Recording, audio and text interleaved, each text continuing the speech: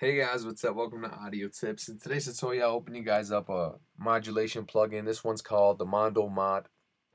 Uh, basically, this is just going to give you guys a modulation effect. You guys got your uh, tempo up here. I'd auto sync it. Always, always auto sync it because it's just going to make sure it's a cleaner, a much cleaner uh, and on-time modulation effect which you want you don't want it to be all over the place you guys got your waveform over here this will change the sound of uh, the way the way the modulation effect is is uh, getting created. You also have your mix button, how much of this you want to mix into your song, and you guys got a gain button up here.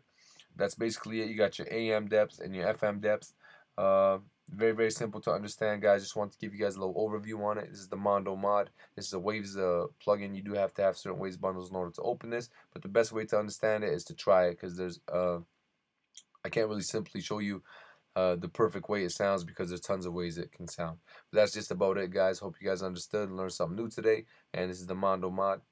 Please subscribe.